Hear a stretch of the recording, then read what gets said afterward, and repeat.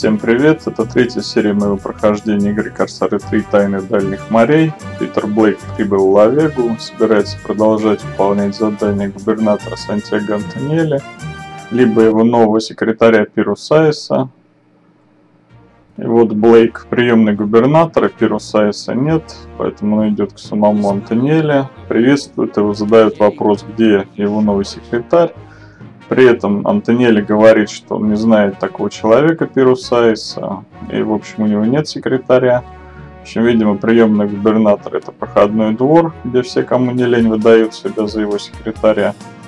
Но так или иначе, у него нет заданий для Питера Блейка, но зато он говорит, что задания будут у Агустада, губернатора Сан-Хуана. Смотрим журнал, появляется квест «Странные вещи». Ну, кроме того, я думаю, Питер Блейк не может не помнить, что он видел Пирусайса в Сан-Себастьяне. И вот Питер Блейк уже в приемной губернатора Сан-Хуана Агустада представляется молодым искателем приключений. Агустада немного шокирован такими признаниями, но тем не менее говорит, что у него как раз для искателя приключений есть задание, а именно собрать информацию о некой императоре Брайане Резаке, который всем отравляет жизнь, но особенно Бенджамину Диосу, так как он, как он выражается, вертится вокруг его дочери. Правда, я не понимаю, как он может вертеться вокруг его дочери. Но тем не менее, в общем, искать его нужно на Тартуге в пиратском поселении. Питер в пиратском поселении на Тартуге. Здесь нужно искать Брайана Резака. Вот я так понимаю, он. Но все выглядит так, что это кого-то Брайан скорее нашел Питера так, как он ему нужен. Он явно собирает людей для какого-то дела и обещает Питеру золотые горы. Питер прикидывается, что у него пусто в кармане, нечем платить команду, он соглашается. В общем, с Брайаном Резаком нужно будет встречаться на следующее утро при выходе из этого поселения. Питер идет в таверну, здесь он встречает некого Малькольма Харта, тот предлагает ему пропустить одну-другую кружечку в этой таверне. Ну вот они разговаривают. Этот Харт говорит, что он наблюдал за Питером. Питер спрашивает, он шпион. Тот говорит, нет, он не шпион, он голландский шпион. Но, в общем, он, ему нужен, естественно, Брайан Резак, так как, по его информации, Брайан Резак собирается похитить э, дочку Фиджеральда Маклауда. В общем, я так и не понял, это Маклауд или Диус. Но, в общем, Фиджеральда, Питер, естественно, говорит, что поможет, так как его направил на самом деле сюда губернатор Сан-Хуана, в общем-то, с похожей целью. В общем, они действуют теперь заодно с этим Хартом, и Харт предлагает теперь э, ударить по ним, по всем сразу. То есть по Брайану и по его сообщникам. На следующее утро у выхода из этого пиратского поселения к Питеру подходит Брайан Резак и говорит, что они плывут на Сан-Мартин, освободить от голландцев человека, который, как он выражается, не хочет больше быть среди этих самых голландцев. В общем, его план высадиться в бухте, пробраться через джунгли в город и, собственно, освободить, видимо, этого человека. Ну что ж, Брайан Резак теперь ждет Питера в бухте Тартуги, я так понимаю, оттуда они уже вместе поплывут на Сан-Марте. Теперь Питеру нужно встретиться с Брайаном Резаком в бухте Тартуги.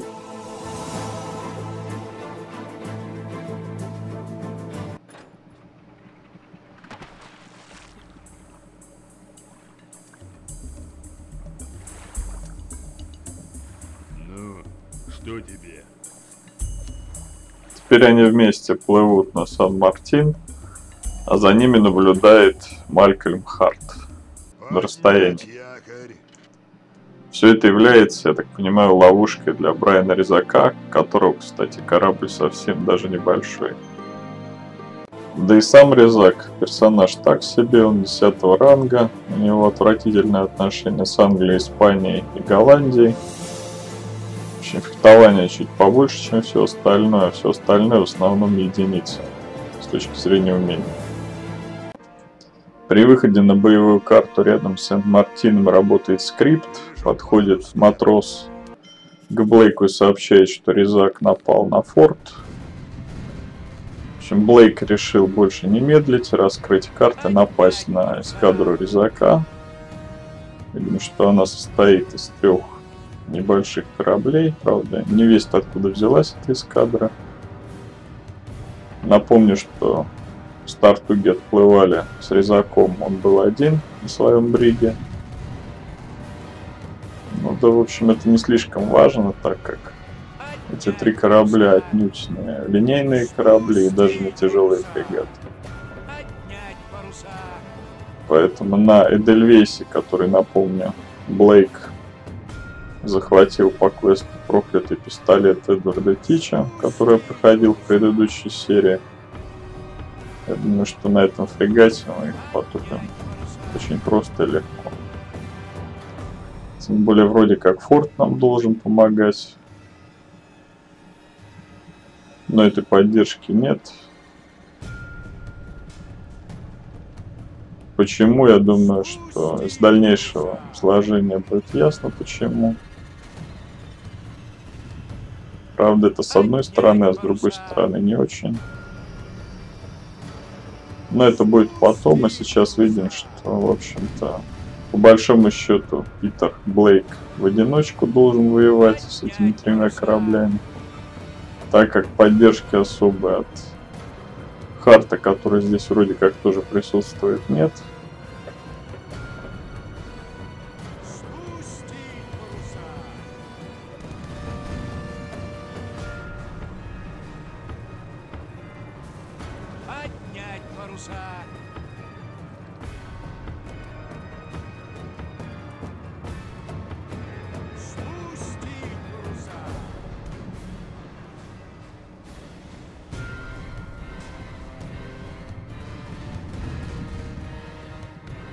Но я напомню, что план резака состоял в том, чтобы через джунгли пробираться в этот самый Сент-Мартин. Это уже должно нас, скажем так, наводить на мысль, что вся эта операция этих трех кораблей может быть просто отвлекающим маневром. Хотя, конечно, хороший отвлекающий маневр, особенно для капитанов этих кораблей. Но, возможно, Резак мог просто обмануть их, направить на форт, а сам выбраться через джунгли к Сан-Мартину. Такой возможности никак нельзя было сбежать, пренебрегать такой возможностью. Хотя э, сценарист данный, данного аддона, в общем, пошел по другому пути. будет такая фраза, что, в общем, потопил ли Питер Блейк все три корабля, но вы можете наблюдать, потопил ли он три корабля. Конечно, потопил. Все три. Но вы уже догадываетесь, что резака на этих трех кораблях нет. Вернее, если он есть, то этот корабль каким-то чудом, как черная жемчужина, пиратах Карибского моря, видимо, поднимается с дна морского и, в общем, сама себя чинит. Вернее, матросы поднимаются со дна и чинят свой корабль, который потом они также поднимают со дна. Ну вот, все три корабля потоплены. Это сделать несложно.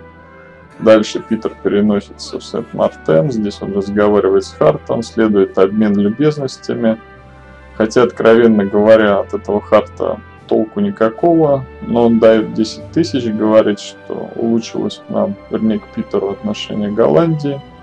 И теперь самое главное, нужно идти к губернатору. Ну, на данный момент Питер, естественно, думает, что с резаком покончено, и губернатору надо наведаться исключительно для того, чтобы получить почет, уважение и, возможно, вознаграждение. Блейк идет к губернатору. Кстати, его зовут Фиджер Диас, а не Маклауд. Так что губернатор Сан-Хуана лучше осведомлен о именах голландских губернаторов, чем голландская разведка. Так вот, здесь, естественно, Резак, он, естественно, захватывает губернатора в плен. Теперь он захватывает еще в плены а, Блейка. В общем, ни людей Блейка, ни стражи здесь нет. Далее все идут а, в форт. Но в форт они идут для того, чтобы заставить коменданта этого форта Бекингема прекратить огонь, который он ведет по какому-то кораблю. Видимо, тому кораблю, который э, всплыл со дна морского. Ну, в общем, я склонен считать, был четвертый, видимо, корабль, на котором, собственно, и приплыл Резак. Бекингем прекращает огонь под страхом смерти губернатора. Далее всех ведут э, в бухту. Здесь Резаку сообщают, что девушку уже похитили. Резак почему-то берет и убегает, хотя мог бы всех прикончить. Далее оставляет почему-то всего двух пиратов. Блейка с этим Бекингем оказывается оружие, хотя они вроде как арестованы. Но дальше убивают они легко этих двух пиратов. Губернатор куда-то непонятно девается. Далее следует разговор, из которого ясно, что Блейк будет охотиться за резаком, чтобы освободить девушку. Бекингем э, рьяно заявляет э, желание помочь Блейку, так как он еще и влюблен, оказывается, в эту дочку губернатора. Но я вообще хочу заметить, что здесь ни перед кем ничего уже играть не надо было. И зачем Бейкингем убил этих двух пиратов, это уж обращайтесь к сценаристу. Зачем? Если цель прикончить Блейка, то надо было помогать пиратам. И еще вопрос из той же серии, почему это Бекингем позволил Форту стрелять по кораблю резака. Ну, в общем, Питер Блейк встречается с ним здесь в таверне, они договариваются вместе искать а, дочь губернатора, и теперь, я так понимаю, они следуют на корабль Питера Блейка. Питер идет на свой корабль. Здесь работает скрипт. Питер и Бекингем должны обсудить, куда плыть искать. В общем, у них единое мнение, что надо плыть на Тартугу в пиратское поселение.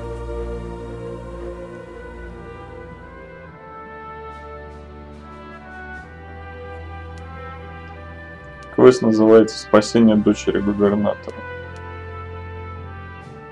Когда Питер уже приближается к Тартуге, к нему подходит Адам Бекингем и говорит, что пока Питер будет швартоваться в порту, он сразу отправится в поселение пиратов и будет ждать Питера уже у входа в это самое пиратское поселение.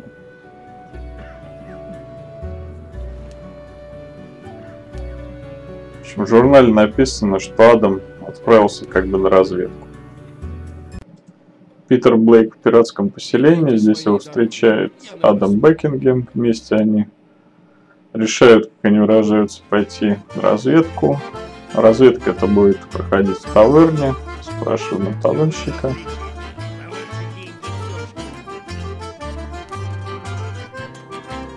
Питер блеет что-то невнятное, в общем, даже не называя имя Брайан Резак, естественно. Он так заданный вопрос товарищ, наверное, ничего разумительного ответить не мог. В журнале, естественно, появляется запись, что товарищик ничем не помог, по сути. Далее к Питеру подходит Адам Бекингем и говорит, что надо спросить у того странного типа что-то про Резака. Посмотрим, что за странный тип. Это офицер.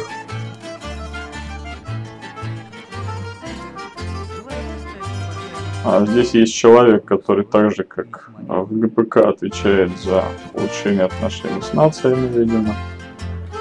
Но это не он, естественно, странный тип, а странный тип вот этот вот пират. Этот пират заявляет, что да, он знает человека, который что-то может сказать про резака. Соответственно, отправляемся с этим человеком в джунгли. Здесь почему-то вдруг Питер оказывается без своих абордажников. Это значит, здесь предстоит бой. Здесь Питер наконец-то выясняет, что Адам Бекингем это предатель, который специально привел его сюда, чтобы убить, я так понимаю. Собственно, он так и формулирует, что он, он, то есть Питер остался как бы последним свидетелем, не считая придурка губернатора. И он бьет Питера, В общем, это скрипт, здесь сопротивляться нельзя. Далее Питер оказывается в какой-то комнате где-то. Я уж не знаю, почему его не убили. Даже он удивляется, что он еще жив. Но, ну, в общем, по непонятным причинам Питера не убивают. Вернее, по понятным, конечно же, для нас, потому что для нас, потому что как можно убить Питера Блейка, на этом все и закончится. Ну, прямо скажем, сценаристы не слишком позаботились о том, чтобы обосновать, почему же все-таки Питера Блейка не убили. Ну, для нас хотя бы, или для приличия. Видим, что предметы остались все на месте, пропали только деньги. Ну вот в этом сундуке мы нашли 5000, плюс какую-то саблю. Это на тот случай, если у нас нет в инвентаре никаких сабель. В общем, у Питера, я так понимаю, пропала именно действующая сабля, которая у него была, и деньги, и все. Ну, то есть, получается, в общем, у Питера даже оружие толком не отняли. Общем, благородные люди, конечно же. Брайан Резак и Адам Бекингем. Они таскали, видимо, раненого Питера все это время за собой, при этом не убили, при этом ничего толком не отняли. В общем, надеваем мечту пирата, так как, естественно, Дагу я одевать не буду. появляется Бекингем. Питер начинает скулить, что Бекингем пожалеет, что не сносить им всем головы. Бекингем при этом, в общем, даже не интересуется, есть ли оружие у Питера. Он странный очень пленник с оружием, которого они таскали бог знает сколько. Тем более они здесь даже приводят ему дочку губернатора, чтобы они поворковали. Дочка губернатора благодарит Питера за благородные намерения. Питер делает прискорбный вид и говорит, что эти намерения пока не воплотились в благородные действия, иначе они бы не сидели здесь заперти. Также он спрашивает, где они находятся. Они находятся на Гваделупе, прямо в городе. Есть предложение. Вот тут появляется Брайан Резак. В общем, Питер продолжает скулить по поводу того, что они все пожалеют, они все негодяи, для чего здесь появился Брайан Резак, не очень понятно. В общем, видимо, для того, чтобы сказать, что он везет эту пленницу с Барбадос, объявить это Питеру Блейку. Но дальше вообще какая-то совершенно глупая сцена. Они оставляют этого Бекингема наедине с Питером. В общем, до этого, видимо, Питера без сознания не убить не могли. Как только он пришел в сознание, он взял шпагу, они решили его наконец-то прикончить. Ну, прямо скажем, видимо, Брайан Резак очень очень-очень симпатизирует Питеру, либо Питер ему для чего-то очень сильно нужен. В журнале написано, что Питеру нужно идти в таверну узнавать, нет ли здесь капитанов, отправляющихся на Барбадос. Соответственно, он разговаривает с товарищиком, и тот говорит, что такой человек только что вышел из таверны, нужно искать, искать его в порту. Идем на причал. Вот, собственно, этот капитан. Зовут его Марко Вилман. Он говорит, что его судно зафрахтовал местный торговец, поэтому он отправляется в Порт-Рояль, но потом может вполне отправиться на Барбадос. Не знаю уж зачем, но Питер соглашается. Напомню, что у него кое-какие деньги есть. Я думаю, что он вполне мог бы... Да, в общем, деньги достать не проблема в джунглях, прежде всего. В общем, он мог бы без всякого этого Вилмана уже давно отправиться на Барбадос, но он соглашается на эти условия, это скрипт, отказаться мы никак не можем. Через 6 дней они прибывают в Порт-Рояль. Здесь этот Вилман говорит, что ему нужно свои дела тут решать, естественно. Блейк отправляется в таверну принимать ром, скажем так. И вот он принимает ром долго-долго, пока этот Вилман решает свои дела. И вот этот Вилман появляется наконец-то.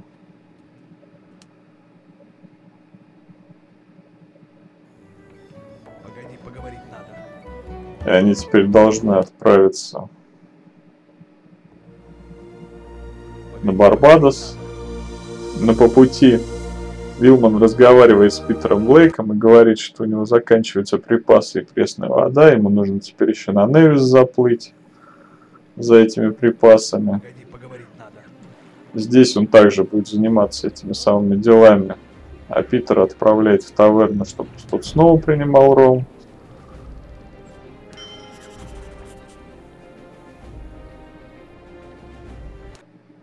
Общем, еще раз подчеркну, выбора у нас не было, а Питер сам выбрал, что называется, да, длинный путь.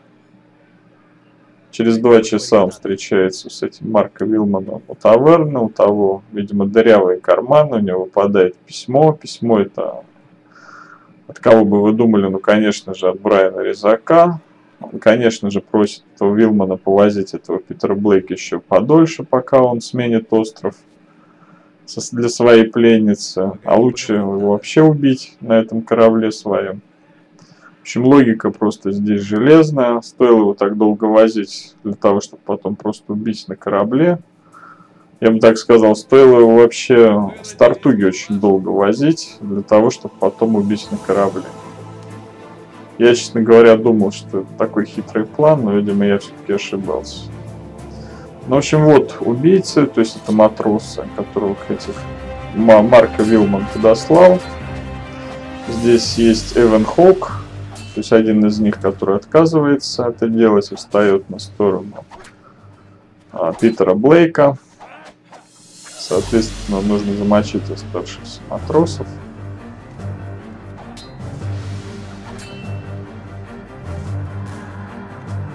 Конечно, убийственный этот пистолет Эдварда Тича.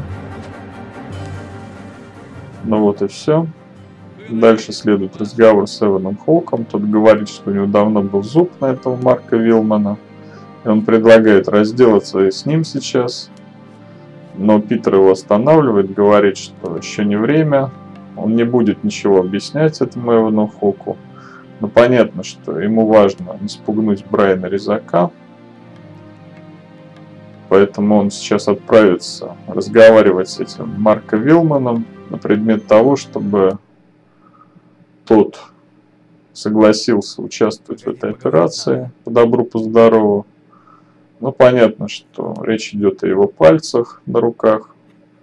И тот признается, что уже ни на какой Барбадос плыть не надо, так как Брайан Резак э, пере- переправил э, пленницу на Кюрасау, там у него домик, поэтому надо плыть теперь на Кюрасау. В общем, пока сам этот Марко Вилман и все его пальцы живы-здоровы, я так понимаю, это до, по- до поры до времени, вот они приплыли уже на Кюрасау, и тут Эван Хок говорит, что он говорил по душам с Марко Вилманом, и тот сообщил, что его дом находится в джунглях. В общем, это, конечно, очень ценная информация, что дом находится в джунглях. Где бы ему еще находиться? В общем, надо идти искать этот дом и освобождать пленницу. Подождать до утра здесь не получится, так как все заведения, включая таверну, закрыты. Нас упорно направляют в джунгли искать домик резака, где предположительно он держит дочку губернатора.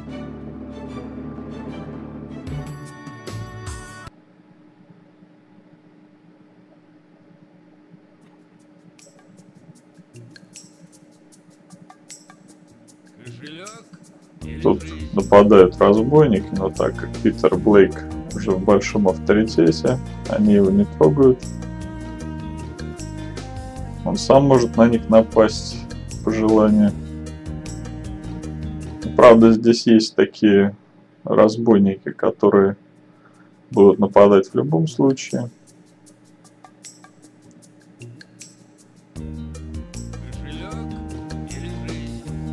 Что называется, без разговоров. В этом смысле, кстати, это напоминает Корсаров каждому свое. Там тоже есть те, с которыми мы разговариваем, а есть те, которыми мы не разговариваем. Вернее, которые с нами не разговаривают.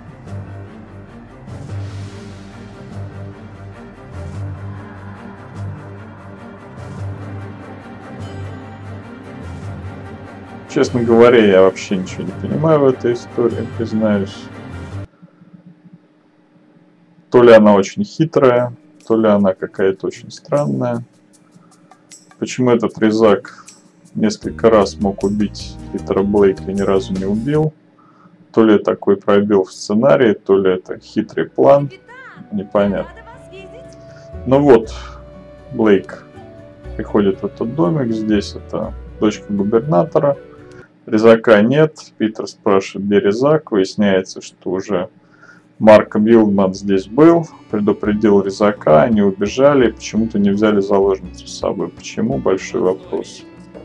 Ну, далее Питер Блейк а, с дочкой губернатора переносится в город. Здесь невесть откуда берется матрос с корабля. Блейка объясняет, что в Лавеге к ним подошел человек и направил их а, в Карасау, так как он знал, что здесь окажется Блейк. Информация крайне странная. Кто мог знать, что Блейк окажется в Кюрасао? Ну, не знаю. Наверное, даже Резак не мог этого знать, потому что он никак не мог предположить, что Вилдман так оплошает.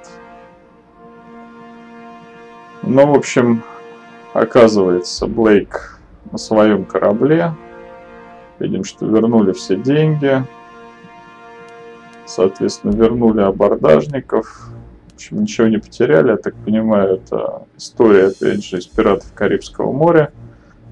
Чудесное возвращение всего и вся Натаниэлю Хоуку. Но видим, что не все. Вот корабль, например, Дельвейс, фрегат не вернули. Вместо этого дали какой-то тяжелый брик. Но это, конечно, безобразие полное. Вместо фрегата дали тяжелый брик. Ну, в общем, я так ничего и не понял, признаюсь честно. Запутанная история.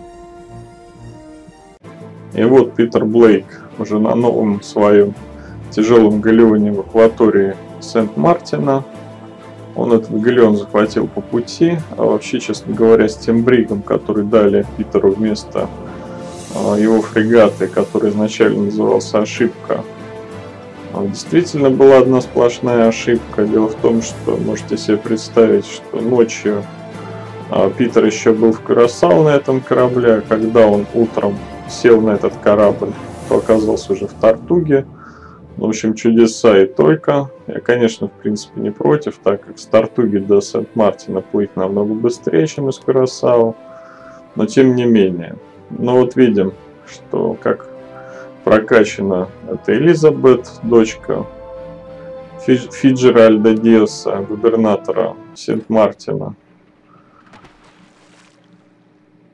В общем, можно было не торопиться, можно, конечно, было ее использовать в качестве суперофицера. Она бы, наверное, сразу несколько должностей могла занять легко.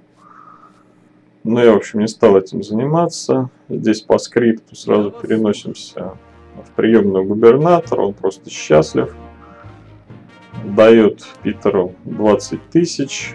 Питер скромничает, он добавляет еще 20 тысяч. В общем, он безмерно благодарен Питеру. Также Элизабет говорит, что она Питера никогда не забудет. В общем, это как бы сюжетная линия, так понимаю, все-таки заканчивается. Заканчивается хорошо. А я, пока Блейк сюда плыл, упорно думал, тоже, в принципе, теоретически мог знать по поводу того, что Питер окажется в Кюрасао, пришел к выводу, что единственный способ, единственный путь, по которому Резак мог действительно разыграть всю эту историю, если вся эта история с оброненным письмом и со всем этим боем на корабле ночью, и с присоединением Хоука, не не Хоука, а Хока, и с э, Марком Вильдманом, великим актером в таком случае, который разыграл всю эту историю. В общем, если это действительно розыгрыш, что они якобы хотели убить а, а Блейка, а на самом деле не убили и привели его на Кюрасау, но я ставлю 5 баллов за сценарий. Получается, что именно Резак мог а, разыграть всю эту историю, а именно при помощи Марка Вилдмана и Эвана а, Хока. Если все это разыграно, то я не понимаю одного, зачем все это нужно. Прежде всего Резаку, потому что вся эта история на поверхности выглядит как банальный ну, чуть не сказал киднеппинг, но в общем оно так и есть. То есть он украл дочку губернатора для того, чтобы получить выкуп. Зачем ему, в общем, заниматься Питером Блейком? Но с другой стороны, я прекрасно понимаю, что все-таки, скорее всего, это сценарий. То, что этот резак не убивает Блейка, а возит его по всему Карибскому архипелагу. Общем, здесь нужно проследить логическую цепочку всей этой серии. Кстати, она началась вот с губернатора, к которому сейчас идет Блейк, а именно губернатора Сан-Хуана – но он сюда пришел, собственно, рассказать ему о его поручении, а именно о том, чтобы проследить за Брайаном Резаком. Именно история с Брайаном Резаком началась с этого губернатора, еще раз подчеркну, именно он послал э, Блейка следить за этим Резаком. Этот Резак не просто, э, скажем так, не стал уходить от Блейка, а наоборот активно пошел на контакт, ввязал его в эту историю с похищением Э, дочки губернатора. Далее он возил его по всему архипелагу, еще раз подчеркну. И скорее всего Вилдман и даже этот Эван Хоук действовали по его указке, в результате чего Блейк оказался именно на Кюрасау. И только Резак, я думаю, мог об этом знать. Но вот мы переносимся в Сан-Себастьян, и здесь еще больше становится загадок. Общем, этот Пирус Сайн с губернатором Сан-Себастьяна опять говорят о каком-то братстве, о том, что Блейк клюнул, э, и братство клюнуло, по словам Пирус Сайенса. Я вообще не понимаю, о каком братстве, честно говоря, уже идет речь. Я думаю, что это пиратское братство. Тут еще Джон Амарильо какой-то подходит на улице к Питеру Блейку, он начинает говорить про карту-загадку, упоминает Рубиуса Юджина, потому что Блейк э, говорит, что он не будет говорить, пока тот не назовет два слова, и, собственно, эти два слова, я так понимаю, это Рубиус Юджин. В общем, он напоминает, что именно человек из этого братства их э, дал Питеру корабль, когда тот выбрался с э, тюрьмы английской. Я так понимаю, это по варианту контрабандиста, когда делается. Также он напоминает о том, что кто-то сообщил его команде, что он находится в Курасау, но тогда вообще ничего не понимаю, откуда это братство могло знать, что все так обернется, что Питер окажется в Кюрасау. В общем, я так понимаю, их интересует а, разгадка этой карты. Он говорит о том, что у них есть а, такая догадка, что есть скрытый текст на этой карте, и этот скрытый текст может проявиться при обработке определенным раствором этой карты. У них этого раствора нет, но, в общем, они знают ингредиенты. Первым ингредиентом является так называемая золотая монета Питера Блада. Ее нужно искать э, в комнате отдыха таверны э, на Тартуге. В общем, откровенно говоря, я думал, что я эту серию закончу, скажем так, какими-то разгадками, хотя бы чего-либо. Но я чувствую, что тут разгадками даже и не пахнет просто. Опять братство какое-то. Я теперь уже понимаю, что это не пиратское братство, как я думал. В общем, ничего не понимаю. Как вообще Резак связан э, с братством? Как это братство узнало, что в Курасау вообще будет Питер Блейк? Это Марилли сказал, что Рубиус Юджин тоже в их братстве, но в таком случае, если их интересует эта карта, зачем же он ее отдал Петру Блейку? В общем, одни вопросы. Но эту серию я на этом заканчиваю. Продолжение следует. Пока.